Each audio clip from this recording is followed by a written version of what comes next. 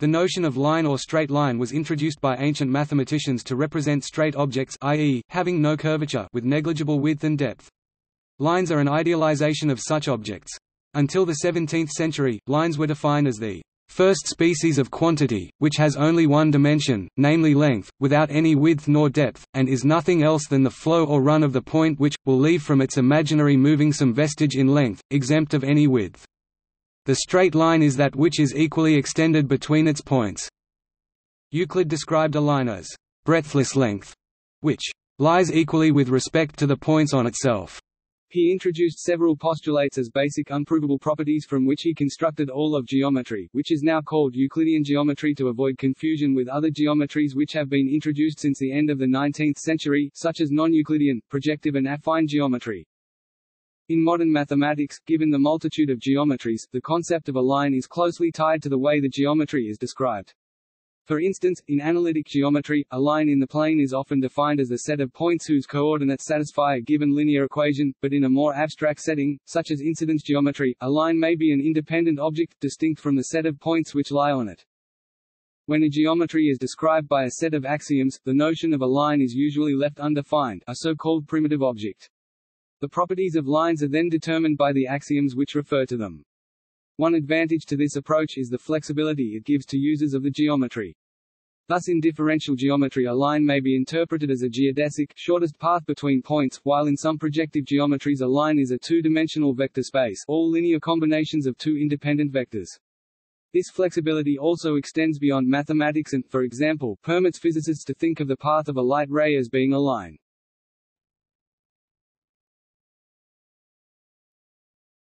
Topic: Definitions versus descriptions.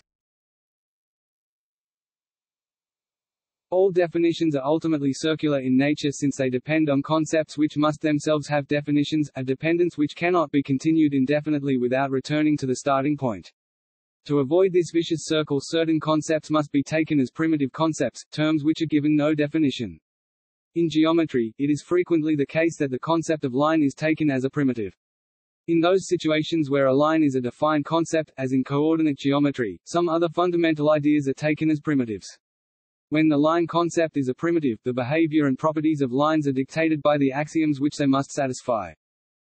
In a non-axiomatic or simplified axiomatic treatment of geometry, the concept of a primitive notion may be too abstract to be dealt with. In this circumstance it is possible that a description or mental image of a primitive notion is provided to give a foundation to build the notion on which would formally be based on the unstated axioms. Descriptions of this type may be referred to, by some authors, as definitions in this informal style of presentation. These are not true definitions and could not be used in formal proofs of statements. The definition of line in Euclid's Elements falls into this category. Even in the case where a specific geometry is being considered for example, Euclidean geometry, there is no generally accepted agreement among authors as to what an informal description of a line should be when the subject is not being treated formally.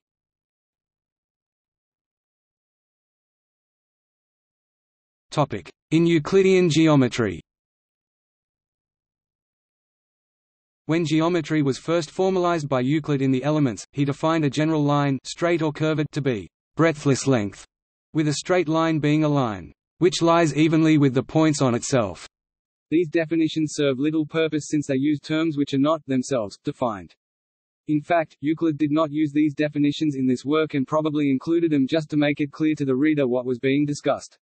In modern geometry, a line is simply taken as an undefined object with properties given by axioms, but is sometimes defined as a set of points obeying a linear relationship when some other fundamental concept is left undefined.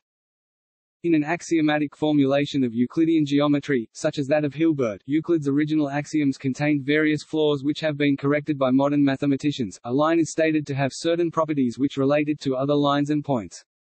For example, for any two distinct points, there is a unique line containing them, and any two distinct lines intersect in at most one point. In two dimensions, i.e., the Euclidean plane, two lines which are not intersect are called parallel. In higher dimensions, two lines that do not intersect are parallel if they are contained in a plane, or skew if they are not. Any collection of finitely many lines partitions the plane into convex polygons possibly unbounded. This partition is known as an arrangement of lines.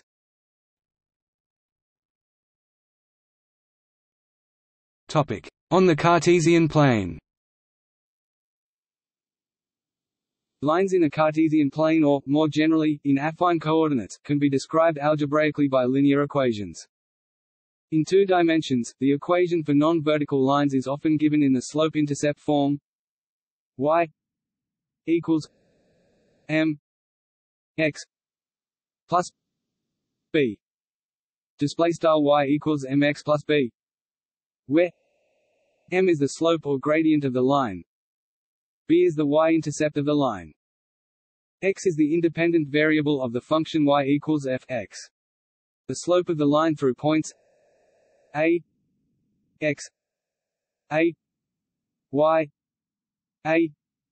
Display style a x underscore a y underscore a, and b x b y b display style b x underscore b y underscore b.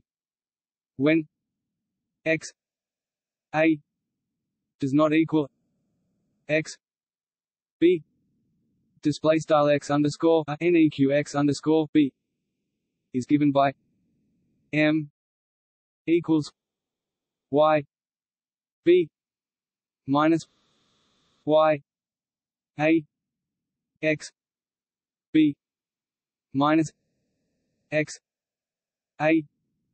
Display style m equals y underscore b y underscore a x underscore b x underscore a, and the equation of this line can be written y equals m x minus x a plus y a display style y equals m x x underscore a plus y underscore a in r two display style math bb r caret two. Every line l display style l including vertical lines is described by a linear equation of the form l equals x y a x plus b y equals c display style L equals x y mid x plus by equals c with fixed real coefficients a, b and c such that a and b are not both zero. Using this form, vertical lines correspond to the equations with b equals zero. There are many variant ways to write the equation of a line which can all be converted from one to another by algebraic manipulation. These forms see linear equation for other forms are generally named by the type of information data about the line that is needed to write down the form. Some of the important data of a line is its slope, x-intercept, known points on the line and y-intercept.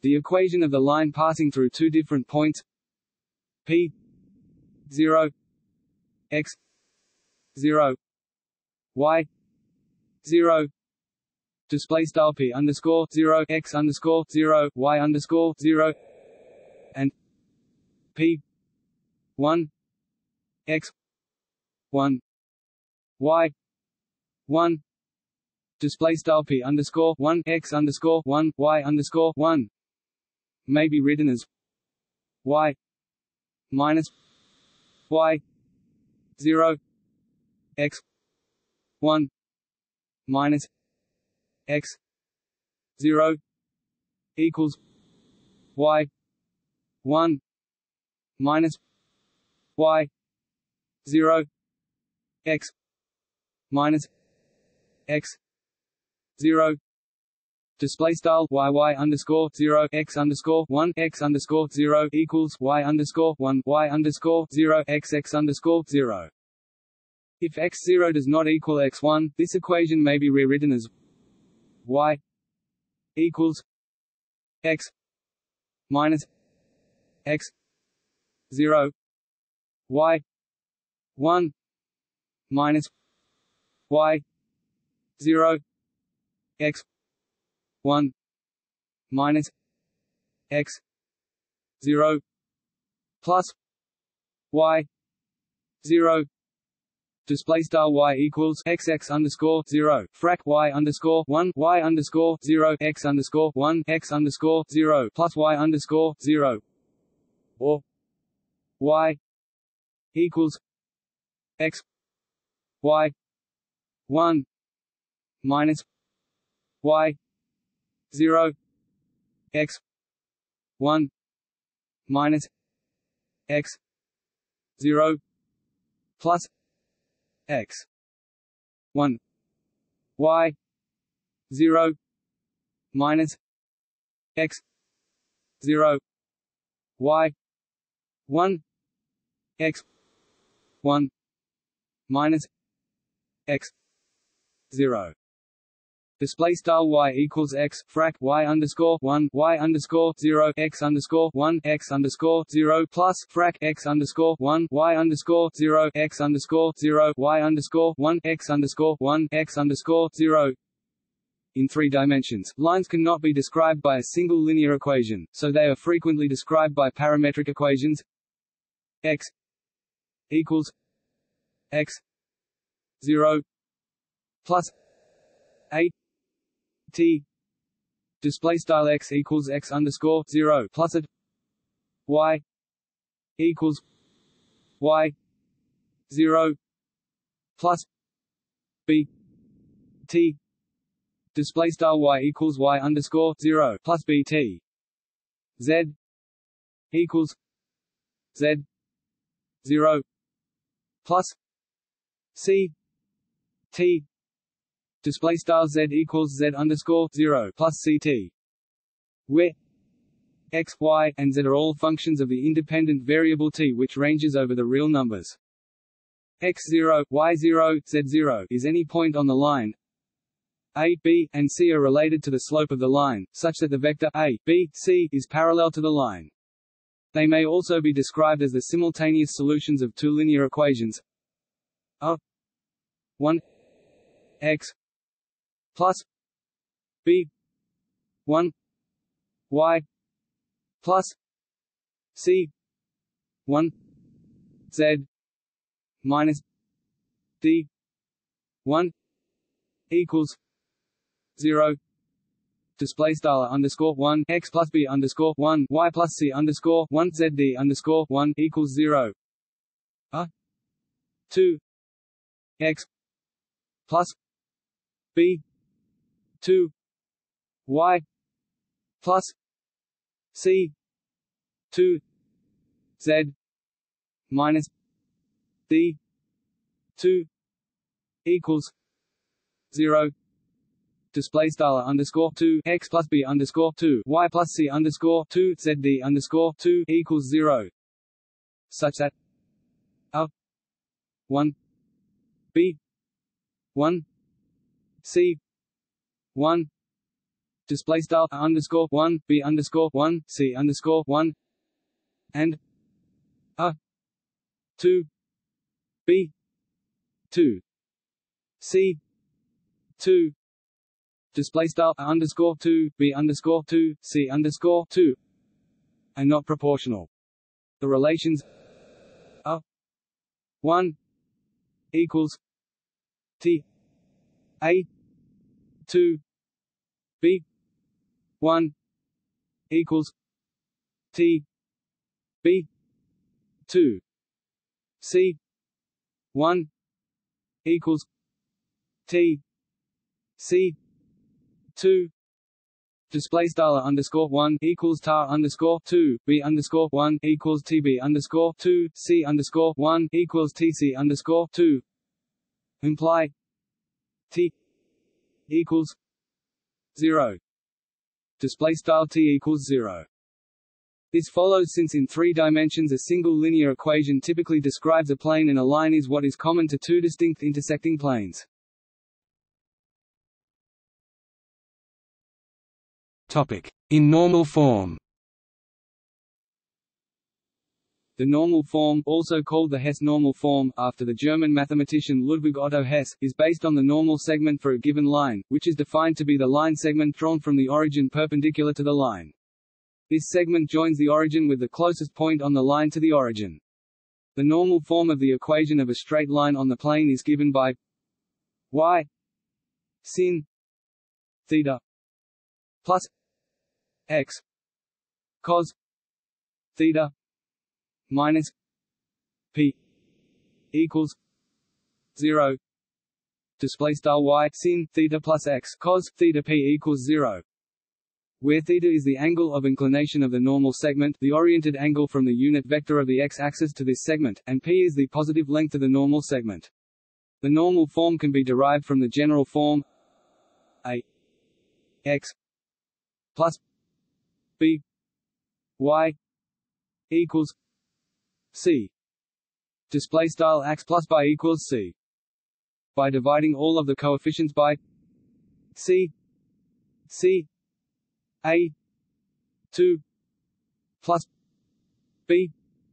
2 display style frac c c sqrt a caret 2 plus b caret 2 Unlike the slope-intercept and intercept forms, this form can represent any line but also requires only two finite parameters, theta and p, to be specified.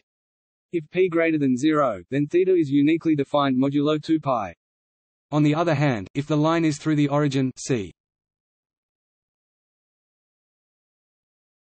topic 0 p 0, 1 drops the c, c term to compute sin theta and cos theta, and theta is only defined modulo pi.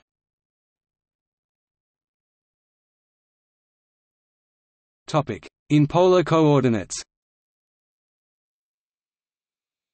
In polar coordinates on the Euclidean plane the slope-intercept form of the equation of a line is expressed as r equals m r cos theta plus b sin theta display style r equals frac mr cos theta plus b sin theta where m is the slope of the line and b is the y-intercept.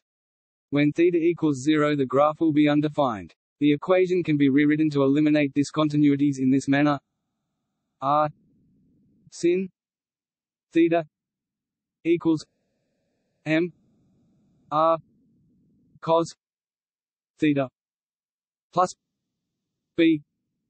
Display style r sin theta equals mr cos theta plus b.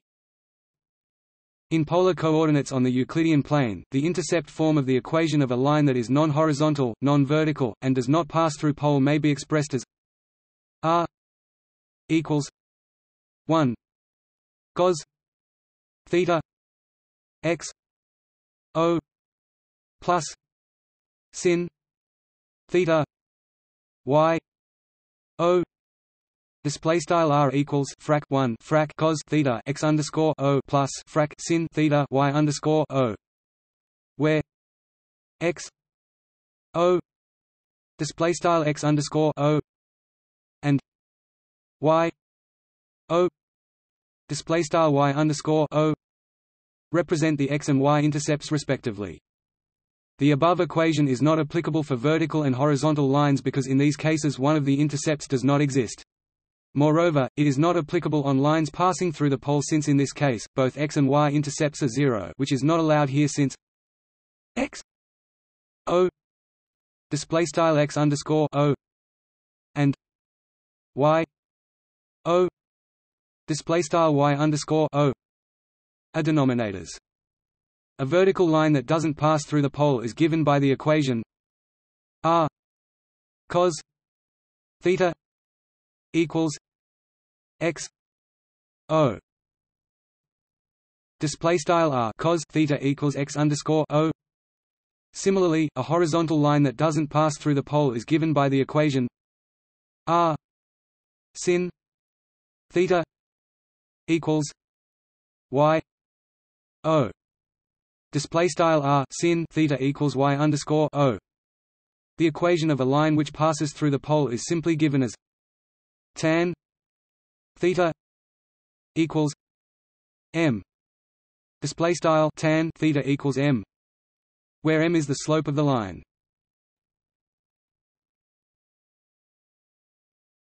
Topic: As a vector equation.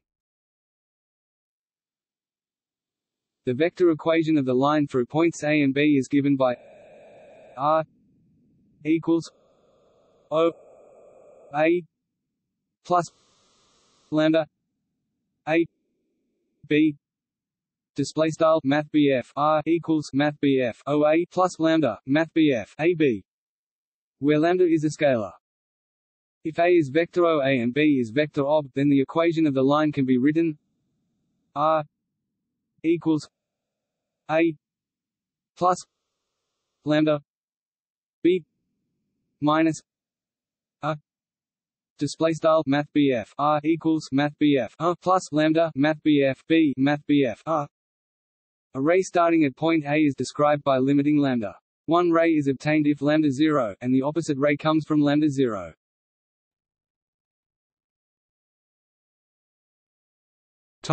In Euclidean space. In three-dimensional space, a first-degree equation in the variables x, y, and z defines a plane, so two such equations, provided the planes they give rise to are not parallel, define a line which is the intersection of the planes. More generally, in n-dimensional space n1 first-degree equations in the n-coordinate variables define a line under suitable conditions. In more general Euclidean space, Rn and analogously in every other affine space, the line L passing through two different points A and B considered as vectors is the subset L equals 1 minus T A plus T B T element of R Display style L equals one T A plus T B mid T in Math B B R. The direction of the line is from A T. Topic zero to B T. One, or in other words, in the direction of the vector B minus A. Different choices of A and B can yield the same line.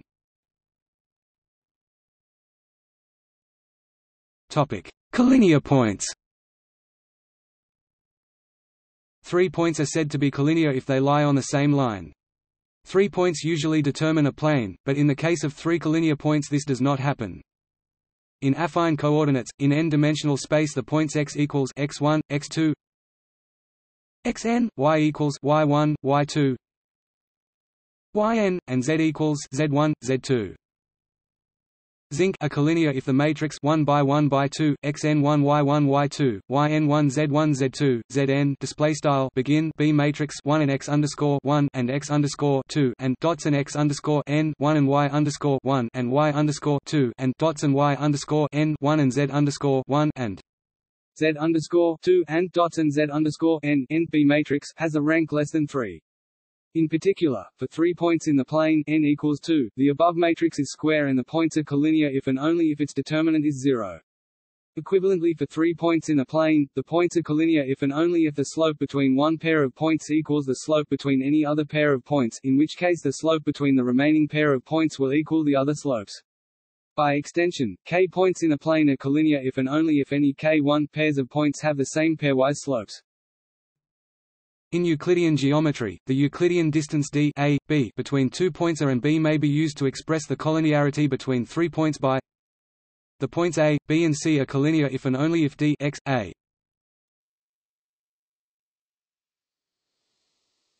D c, a and d x, b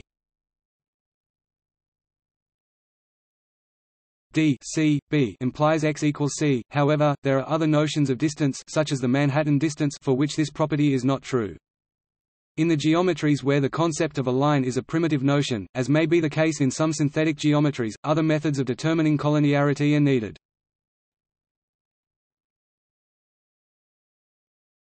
Topic: Types of lines. In a sense, all lines in Euclidean geometry are equal, in that without coordinates, one cannot tell them apart from one another. However, lines may play special roles with respect to other objects in the geometry and be divided into types according to that relationship. For instance, with respect to a conic, a circle, ellipse, parabola, or hyperbola, lines can be tangent lines, which touch the conic at a single point, secant lines, which intersect the conic at two points and pass through its interior, exterior lines, which do not meet the conic at any point of the Euclidean plane, or a directrix, whose distance from a point helps to establish whether the point is on the conic. In the context of determining parallelism in Euclidean geometry, a transversal is a line that intersects two other lines that may or not be parallel to each other. For more general algebraic curves, lines could also be isecant lines, meeting the curve in I points counted without multiplicity, or asymptotes, which a curve approaches arbitrarily closely without touching it. With respect to triangles we have the Euler line, the Simson lines, and central lines. For a convex quadrilateral with at most two parallel sides, the Newton line is the line that connects the midpoints of the two diagonals. For a hexagon with vertices lying on a conic we have the Pascal line and, in the special case where the conic is a pair of lines, we have the Pappus line. Parallel lines are lines in the same plane that never cross. Intersecting lines share a single point in common. Coincidental lines coincide with each other. Every point that is on either one of them is also on the other. Perpendicular lines are lines that intersect at right angles. In three-dimensional space, skew lines are lines that are not in the same plane and thus do not intersect each other.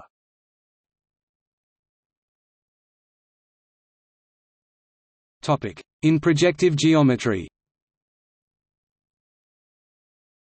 In many models of projective geometry, the representation of a line rarely conforms to the notion of the straight curve, as it is visualized in Euclidean geometry. In elliptic geometry we see a typical example of this.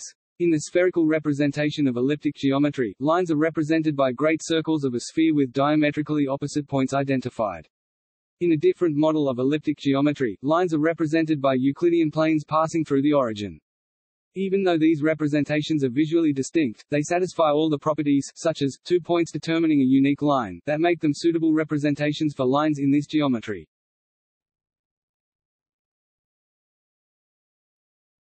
Topic: Extensions.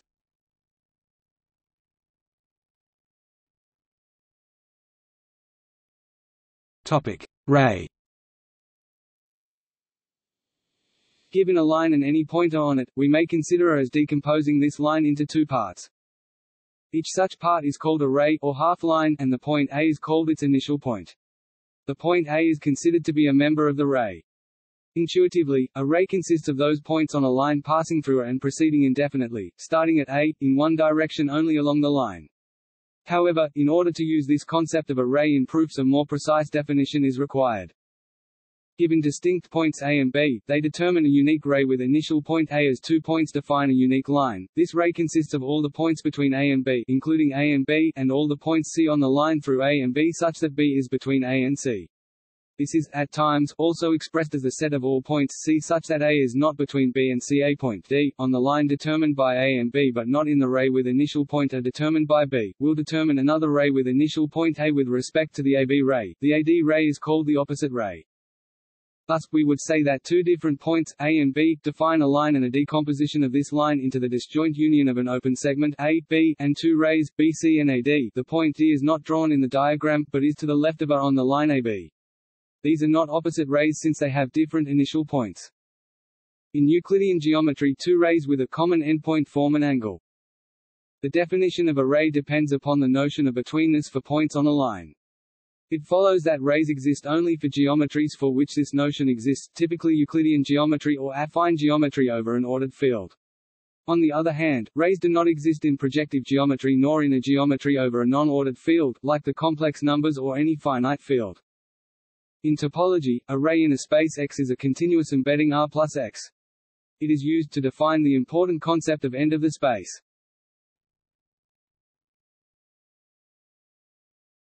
Topic: Line segment. A line segment is a part of a line that is bounded by two distinct endpoints and contains every point on the line between its endpoints. Depending on how the line segment is defined, either of the two endpoints may or may not be part of the line segment. Two or more line segments may have some of the same relationships as lines, such as being parallel, intersecting, or skew, but unlike lines they may be none of these, if they are coplanar and either do not intersect or are collinear.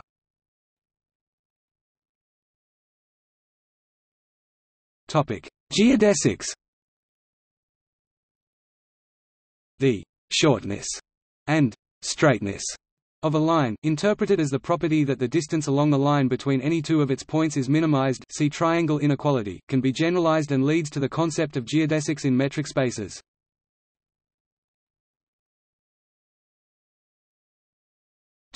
See also. Notes